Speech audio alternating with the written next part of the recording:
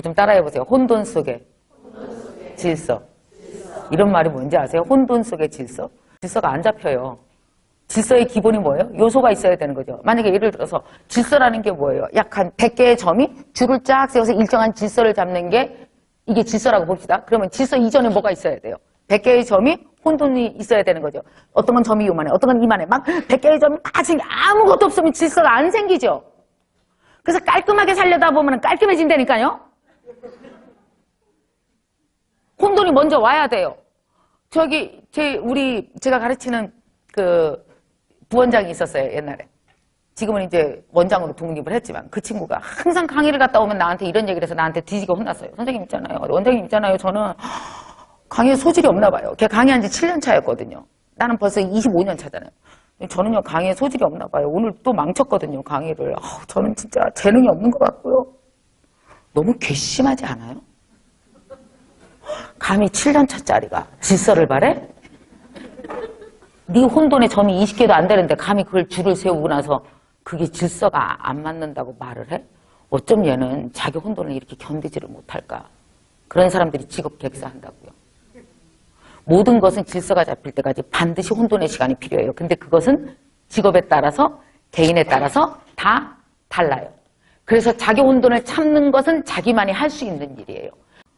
어, 저, 난 정말 재능이 없나 봐요. 이게 혼돈할 속에 있을 때 사람들이 입으로 내뱉는 말들이 다 이런 거예요. 근데 봐요. 어, 너무 두려워요. 나 이거 여기 이거 왜 왔는지 모르겠어요. 근데 생각해봐 여러분 두렵다는 게 무슨 뜻이에요? 거기까지 왔으니까 두렵지. 여러분 거기까지 안 왔으면 이렇게 누워 있는데 두렵냐? 두렵냐? 안 두렵지.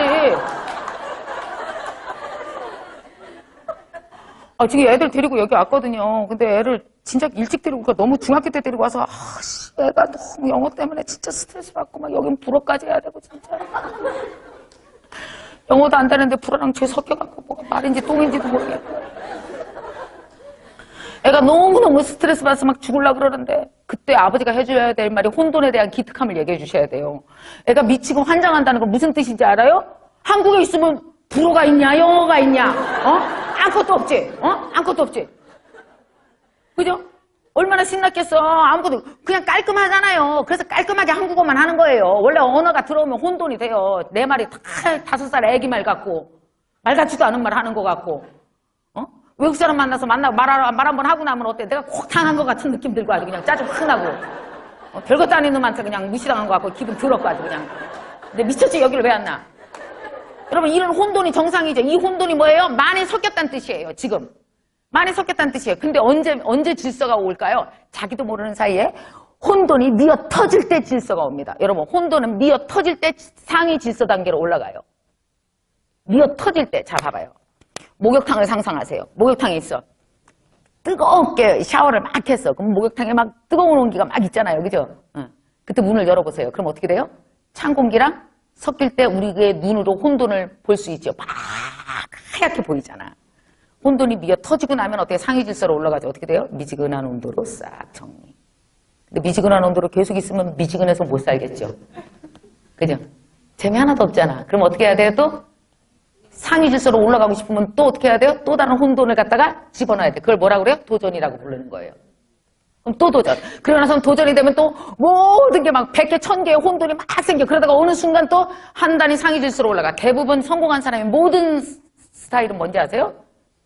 혼돈을 수천 번 경험하고 상위 질서를 수천 번 경험한 거예요. 그 질서가 다 모여서 그 사람이에요, 지금. 저는 강의한 지 26년이 됐잖아요. 수없이 혼돈을 겪었죠. 옛날에 내 강의 못 들어줘. 아니, 난 돈을 다 돌려줬어야 되는데 누군지 찾지 못하겠어요. 찾아서 돈을 돌려줘야 되는데 못 돌려주겠네. 자, 옆 사람 눈 한번 봐봐요. 다 혼돈 아니야, 지금? 다 혼돈이지? 혼돈 속에 있어. 얼마나 혼돈되는 게 많겠어. 자, 지금부터 등 두드리면서 큰일 한다. 시작. 예, 큰일 한다. 어. 아유, 큰일 한다. 진짜 큰일해. 특히 여기 와서 공부한 지 얼마 안 되는 학생들, 5년 미만 학생들 정말 큰일 하시는 거예요. 엄청난 혼돈을 겪지 않으면 왜냐하면 한국에서 사는 것보다 외국에 나왔다는 거 뭐예요? 일부러 지가 혼돈 속으로 빠져든 거잖아요. 그러니까 첫날부터 혼돈이잖아요. 근데 그게 극심하게 혼돈도 어때? 좀 이렇게 좀 반짝반짝하는 혼돈이 아니라 침울한 혼돈들이 막 어느 날 한꺼번에 들어오는 날 있죠. 어? 막 한국에서 돈 안 왔어. 왜 안 붙여? 응? 돈도 떨어져서 미치겠는데 힘들어서 죽겠는데 학교 가서 왕창 깨지고 아무리 해도 공부도 안 되는 것 같고 어? 막 속상해 죽겠고 거기다가 뭐 사귀던 애도 헤어지자고 지고 여러 가지로 겹치면 막 죽고 싶잖아요 여러분 죽고 싶은 혼돈이 올수록 뭔지 아세요? 내가 많이 했구나 남자랑 헤어졌다는 건 무슨 뜻이에요? 사귀었다는 뜻이잖아 어제까지 좋았던 뜻이잖아 그죠? 다 좋은 뜻으로 얘기를 하세요. 그런 의미에서 이 얘기도 한번 같이 갑시다. 손을 이렇게 해봐요. 이렇게 봐. 이게 뭐야? 파장이에요, 파장. 자, 지금부터 스키를 한번 타볼까요? 스키? 스키 탈 줄 알아요? 스키는 어때요? 이쪽 간 힘으로 이쪽으로 오게 돼 있어요. 그래서 이쪽으로 조금 가면 이쪽도 조금 오지, 이쪽 조금 가다 갑자기 이쪽으로 확 가면 분명히 자빠져요. 그죠? 그래서 스키를 잘 타는 사람은 뭐예요? 이 리듬을 타는 거죠. 그죠? 좌우 리듬을 타게 돼 있어요. 그러면 이렇게만 해 가면 이렇게 손을 해봐 시작 이렇게 이렇게 이게 원래 이래 이게 리듬이야. 그러면 좀 크게 하려면 어때? 이쪽을 크게 가 이쪽도 크게 가. 그죠? 이게 이게. 이걸 파장이라 그래요. 그러니까 1만큼 올라가면 내려오는 것도 마이너스 1이에요. 그래서 남자를 사귈 때 그 남자랑 사귀었을 때 너무 좋았어. 100만큼 좋았어. 그러면 헤어지면 어떻게 돼요? 꼭 100만큼 떨어지죠. 그러니까 100만큼 슬프다고 승질낼 일이 아니지. 100만큼 좋았으니까 100만큼 내려오는 거 아니겠어요? 그죠? 여러분 그렇잖아요. 이렇게 만났는데 그냥 어 별로였어 뭐. 한 10 정도? 헤어지면 어떻게 그래? 헤어져도 뭐라 그래요? 갈때 됐으니까 같이 뭐. 어, 딱10 정도? 그러니까 왜 내가 굉장히 억울하고 너무 슬프다는 건 거기에 대한 욕망이 무진장 크고 내가 그걸 무진장 원한다는 뜻이에요. 그래서 내가 막 공부했는데 막 성적이 안 나서 너무 속상하고 많이 울었어. 이건 무슨 뜻이에요? 내가 되게 괜찮은 사람이란 뜻이다.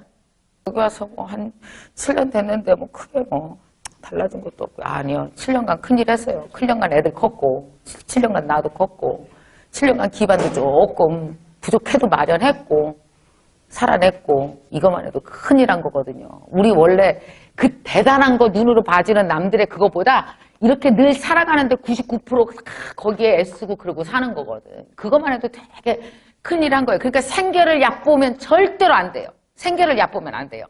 자, 여러분 여기 직장 다니시는 분도 있고 공부하시는 분 있으면 생계 얕보지 말아요. 생계도 어떤지 아세요? 근데 1, 2, 3단계는 있어요. 그냥 안 죽을 만큼 일하는 거 사람들 있어요. 저는 안 죽을 만큼 강의하지 않아요. 강사들 중에서도 안 죽을 만큼 하는 사람이 있어요. 그냥 공부 대충 하고, 응? 홍보 영업도 대충 하고. 여러분, 제가 제일 잘하는 게 뭔지 알아요? 난 강의보다 더 잘하는 게 영업이에요. 난 정말 잘해요. 나는 먹고 사는 데 있어서 눈에 불을 켜는 사람이에요. 여러분, 강의를 잘하는 건 원천 기술, 강의하러 나가는 건 가공 기술. 이해가 가나? 그거 아세요? 강의만 잘하면 굶어 죽어요. 내가 강의할 수 있는 영업 환경을 내가 만들어야 내가 팔, 나를 팔아낼 수 있는 팔로까지 개척하는 거 포함해서 직업이에요. 네? 그러니까 피아노 잘 치는 건 원천 기술, 피아노로 먹고 사는 건 가공 기술. 이해가 가요? 오, 백삼동 505 아줌마랑 빨리 친해져야 그 집 애를 가르칠 거 아니에요. 어? 그집 엄마를 잘 꼬셔야 옆집도 소개받을 거 아니에요. 그렇게 해서, 그렇게 해서 한 달에 200만 원, 300만 원 벌어내야 피아노로서 내 직업 나를 먹여 살릴 수 있을 거 아니에요. 여러분 배운 걸로 나를 먹여 살리는 게 얼마나 어려운 일인지 아세요? 배운 건 배운 걸로 끝나요. 중요한 건 배운 걸로 나를 평생 먹여 살릴 수 있는 직업화하는 데 필요한 게 뭐예요? 가공기술이에요. 영업을 하라고요. 내가 이런 사람이라고 말해야 돼요. 내가 팔지 못하면 배우기만 하신 거예요.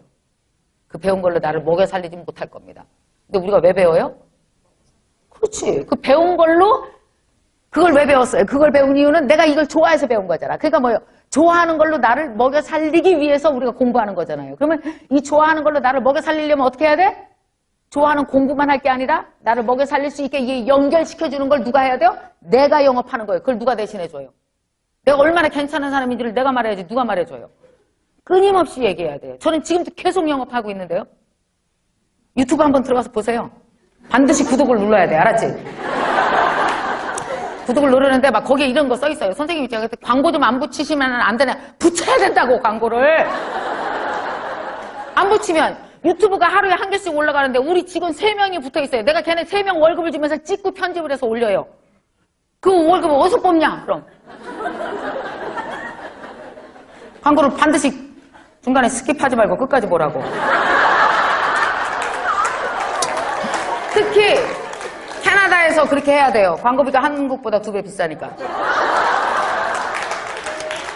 너무 웃겨. 나도 이거 다 두 달 전에 알아낸 사실이에요. 몰랐었어요. 제가 얘기합니다. 뭐라 그러냐면, 제가 영어 공부 되게 열심히 하고 있고, 앞으로 나이 60 이후에는 계속 영어로 강의할 수 있었으면 좋겠고, 그렇게 할 거라고 계속 얘기해요. 이게 뭔지 아세요? 내가 나를 내다 파는 중이에요. 원천 기술과 가공 기술에 대해서 꼭 생각하세요. 나는 원천 기술만 있나? 아니면 나는 가공 기술에 대해서도 두 가지를 동시에 하고 있나? 근데 어떤 사람은 이런 게 있죠. 또 반대도 있어요. 가공 기술은 되게 뛰어난데 원천 기술을 확보하는데 시간과 돈을 안 쓰는 사람이 있어요. 그런 사람들은 어떻게 해야 돼요? 반드시 뒤로 돌아오게 돼 있다. 반드시 채워넣게 돼 있어. 음, 반드시 채워넣게 돼 있어요. 예를 들면 저 보세요. 저는 강의하는 가공, 그러니까 영업하는 거나 강의를 하는 가공 기술은 되게 뛰어나요. 25년간 했잖아요. 그죠? 근데 나한테 뭐가 없어요? 내가 만약에 영어로 강의하고 싶다 그러면 나한테 영어라는 원천 기술이 없죠. 그죠? 그럼 어떻게 해야 돼요? 나는 잠시 시간을 갖고 돌아와서 이걸 채워야 두 개가 같이 합쳤을 때 항상 역량을 발휘해요. 근데 이 두 개를 합치는 건 바빠요? 안 바빠요? 엄청 바쁜 거예요, 이게. 엄청 바빠요. 그러니까 여러분 돈 벌면서 일하는 게 그렇게 바쁠 수밖에 없는 거예요. 그래서 이런 생각 자꾸 하죠. 아우, 씨, 미치겠다. 아우, 나 시간만 있으면 나 알바 같은 거 안 하고 공부만 했으면 좋겠어요. 안 돼. 안 돼. 그거 불가능한 일이고 원래 사람이 기술이 가장 뛰어난 사람은 원천과 가공 기술을 동시에 하는 사람이에요. 돈 벌면서 공부하고 공부하면서 돈 벌고 이럴 때가 가장 공부가 잘 돼요. 어, 늘어지게 공부만 하는 것보다 훨씬. 서러워하지 말아요. 서러워하지 말아요. 아우, 나는 요, 공부할 시간만 나면 좋겠어요. 돈 벌으냐고 너무 시간이 없고 미치겠어요. 아니야. 그 잘하고 있는 중이야. 이럴 때가 훨씬 더 나. 기특하게, 그냥 공부하는 사람이 있고 기특하게 하는 사람이 있어요. 원래 기특한 공부가 더 나중에 실력을 발휘하게 돼 있어. 왜? 내가 아까워하면서 한 공부기 때문에. 왜 이러고 있잖아요. 어? 또 어떤 사람은 이럴 거예요. 아, 저는요, 돈도 벌고 조금 있었는데 너무 공부한 게 없어요. 그러면은 과감하게 어떻게 해요? 돌아가세요. 괜찮아.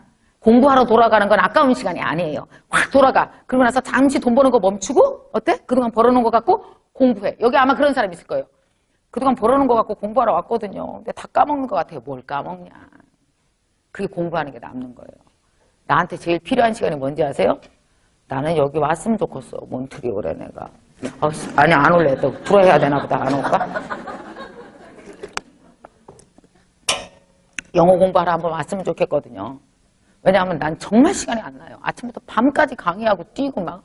나 저는 매달 벌어야 되는 돈이 정해져 있는 사람이에요. 맨날 뿌려줘야 되는 사람이 돈- 막 19명 이상 되고 늘. 뭐 시댁, 친정, 몽땅 직원 다 그래서 나는 늘 쫓기면서 살기 때문에 경제적으로 막 열심히 일하면서 살아야 되거든요. 솔직히 영어 공부할 시간이 거의 안 나요. 나는 언제 하냐면 밤 11시에 영어 선생님이 우리 집으로 와요. 11시부터 12시까지 공부를 해요. 그렇게 밤, 피곤해 죽겠는데 막 거의, 내가, 내 영어는 다 졸면서 한 영어라 이상해 영어라고. 정말 취해서 한 것처럼 너무 졸리고 피곤해 미치겠는데 하거든요. 근데 그것도 안 하면 안 될까봐 그 죽으라고 하는 거예요. 그러니까 원래 꿈을 이루는 게 육체 노동이죠. 아니, 그렇게 몸이 피곤해야지 원래 꿈이 이루어지지. 이렇게 몸이 너무 쌩쌩하면 안 돼요. 어. 어, 피곤해 죽으면서 이렇게 뭔가 들어오는 거 아니에요? 그 계속 하고 있다고. 그때 내가 어떤 생각, 아우, 돈 버는 것 좀 멈췄으면 좋겠다.